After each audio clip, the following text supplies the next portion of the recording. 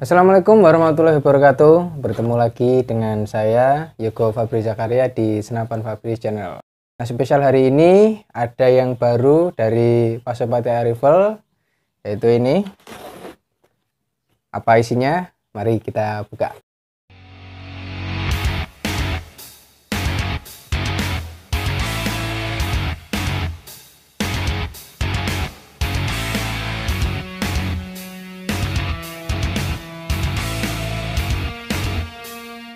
Nah, ini dia yang baru dari Pasopati. Kalau biasanya kita tahu senapan angin Pasopati itu kalau nggak gejolak ya PCP. Nah, ini spesial untuk Anda pecinta senapan angin pompa tangan atau klik. Ini Pasopati jenis sub. Nah, setiap pembelian nanti Anda akan mendapatkan seperti biasa ini eh, tali sandang. Terus ini pengaitnya di sini berpat fil juga ini tes yang tidak ketinggalan ini. Peredam nah, ini ya. Dan ini senapannya senapan angin pasopati ini pompa tangan. Oke. Dan selanjutnya kita akan ulas spesifikasi senapan angin sap pasopati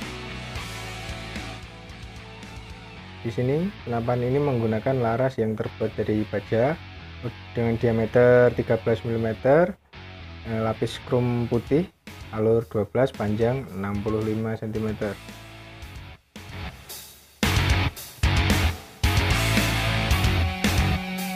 Untuk tabung pompanya, senapan ini menggunakan pipa yang terbuat dari bahan kuningan UD 25 mm dengan tingkat ketebalan 1,5 mm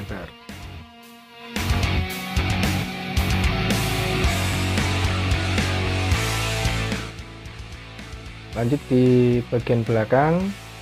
Senapan ini menggunakan camber yang terbuat dari bahan kuningan dengan sistem patri untuk grandelnya menggunakan grendel sistem putar seperti ini.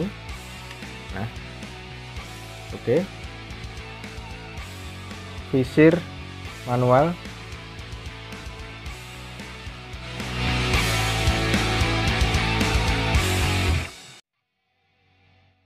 Ini sangat nyaman digunakan untuk membidik.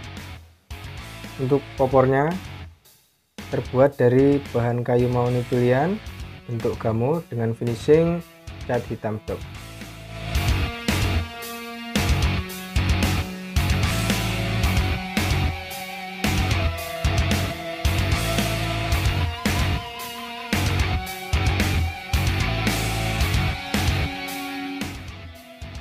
lanjut ke bagian trigger atau biasa disebut dengan pelatuk.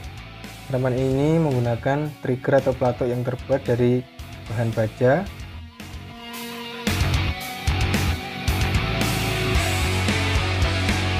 Jadi tidak mudah karat dan juga sangat ringan. Jadi sangat nyaman untuk digunakan pada saat menembak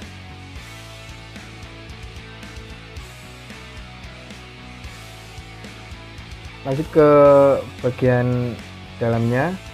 Senapan ini menggunakan tabung kapsul angin berbahan dari kuningan.